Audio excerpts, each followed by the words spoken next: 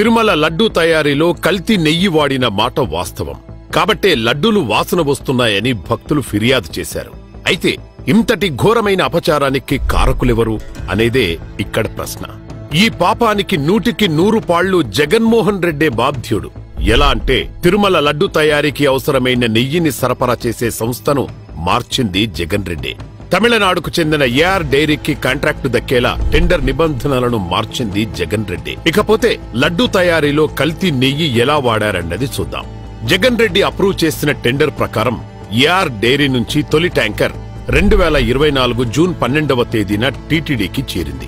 అలాగే జూన్ ఇరవై ఇరవై ఐదు జూలై నాలుగవ తేదీలలో మరో మూడు ట్యాంకర్లు వచ్చాయి. ఈ ట్యాంకర్ నుంచి జూన్ పన్నెండు ఇరవై ఒకటి ఇరవై ఐదు జూలై నాలుగవ తేదీలలో అంటే ఎప్పటికప్పుడు ట్యాంకర్లు వచ్చిన వెంటనే శాంపిల్స్ తీసి టీటీడీ ల్యాబ్కు నాణ్యత పరీక్ష కోసం పంపించారు. అయితే టీటీడీ ల్యాబ్లో కేవలం కొన్ని బేసిక్ పారామీటర్స్ అయిన moisture RM value rancidity iodine value. Milk fat లాంటి చిన్న చిన్న టెస్టింగ్లు మాత్రమే జరపడానికి వీలుంది. నెయ్యిలో జంతు కొవ్వు కలిసి ఉందా లేదా అని పరీక్షించగలిగే సామర్థ్యం సౌకర్యం టీటీడీ ల్యాబ్కు లేదు. అందుకే బేసిక్ టెస్ట్లో ఈ నాలుగు ట్యాంకర్లు పాస్ అయిపోయాయి. దాంతో ఈ నాలుగు ట్యాంకర్ల నెయ్యిని లడ్డు తయారీలో వాడేశారు. పైగా జగన్ గ్యాంగ్ ఇంతటి పాపానికి ఒడగడతారని ఎవరు మాత్రం ఊహించగలరు చెప్పండి. లడ్డు తయారై భక్తులకు చేరాకే జగన్ చేసిన ఘోరంపై అనుమానం చెంది. ఎందుకంటే లడ్డు వాసన రావడం నిల్వ ఉండకుండా త్వరగా చెడిపోవడం రుచి లేకపోవడం వంటి అవలక్షణాలు బయటపడడంతో భక్తులు లడ్డూపై టీటీడీకి ఫిర్యాదు చేశారు. అనుమానం అప్పుడే మొదలైంది.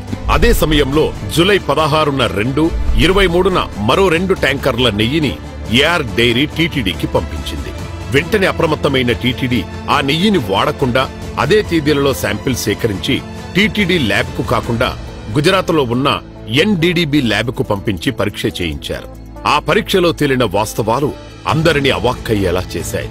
ఎందుకంటే ఆ నెయ్యి తయారీకి జంతు కొవ్వు వాడినట్టు నిర్ధారణ అయ్యింది. నాలుగు ట్యాంకర్స్. అప్పటికే నాలుగు ట్యాంకర్స్ వచ్చేసాయి దాన్ని వాడారు. నాలుగు ట్యాంకర్స్ వచ్చాయి. నాలుగు ట్యాంకర్స్ చెప్పినా ఎనలేదు కాబట్టి అక్కడి నుంచి ఈయనకుండే అధికారం ఉపయోగించుకొని ఎన్డీడీబీ ల్యాబ్కు పంపించాడు. ఎన్డీడీబీ ల్యాబ్కు పంపిస్తే అది పదహారు ఏడు రెండు వేల ఇరవై నాలుగు ఇరవై మూడు ఏడు రెండు వేల ఇరవై నాలుగు రిపోర్ట్స్ బ్యాక్ వచ్చాయి. ఆ రిపోర్ట్స్ బ్యాక్ వస్తే ఆ రిపోర్ట్స్ని బేస్ చేసుకొని అతను యాక్షన్స్ పెట్టాడు. వెంటనే ఆ నాలుగు ట్యాంకర్లను తిప్పి పంపించడమే కాకుండా ఆ కంపెనీపై చర్యలు తీసుకొని బ్లాక్ లిస్ట్లో పెట్టారు. కానీ ఏం లాభం? అప్పటికి అపచారం జరిగిపోయింది. మొదటి నాలుగు ట్యాంకర్ల కల్తీ నెయ్యిని స్వామివారి లడ్డు తయారీలో వాడటం అన్నది జరిగిపోయింది. ఈ పాపం పూర్తిగా జగన్ చేసిందే. ఇది బయటపడేసరికి ఏఆర్ డైరీ పంపిన జంతు కొవ్వు కలిసిన నెయ్యిని లడ్డు తయారీలో అసలు వాడలేదు అంటూ జగన్ గ్యాంగ్ ప్రచారం చేస్తోంది. ఆ నెయ్యిని వాడకుండానే అటు టీటీడీ ఇటు చంద్రబాబు గారు అబద్ధాలు చెబుతున్నారని నాలుక కొవ్వు పట్టిన మాటలు మాట్లాడుతున్నారు వైసీపీ నేతలు. జగన్ రెడ్డి ఇదిగో ఈ వీడియోలు చూడు. ట్యాంక్ నంబర్ చెప్పాను కదా పది పది సుమారుగా పది వాడాను. ఎగ్జాక్ట్ నెంబర్ లేదు కానీ పదిలో అంటే పది వచ్చాయి. పదిలో నాలుగు టెస్టింగ్ పంపించాం మిగిలినవి వాడుతుంది எல்லாரோட கேள்விகளும் ஒரே மாதிரி இருக்க பட்சத்தில் நான் காமனாகவே விளக்கம் கொடுக்க விரும்புகிறோம் ஏன்னா நிர்வாகத்தின் அது நிர்வாகத்தின் மு- ஒரு நபராக தான் நாங்கள் முன்னாடி நின்னு பேசிட்டு இருக்கேன் ஸோ நாங்கள் வந்து தேவஸ்தானத்துக்கு சப்ளை பண்ணது ஜூன் ஜூலை மாதத்தில் நாங்கள் அமைச்சிருக்கோம் கண்டினியூஸாக அப்போ நடந்தது இரண்டு மாதங்கள் தொடர்ச்சியாக அமைச்சிருக்கோம் మేము నెయ్యి పంపించాం అని తేదీలతో సహా ఏఆర్ డైరీ ప్రతినిధి చెబుతుంటే నువ్వు నీ సొంత కథలు ఎలా చెబుతావు చేసిన పాపానికి స్వామి వారి కోట్లాది భక్తులకు క్షమాపణ చెప్పాల్సింది పోయి భూకరింపులా అబద్ధాలతో ప్రధానికి లేఖ కూడా రాశావంటే నీ బరితెగింపు అర్థమవుతుంది.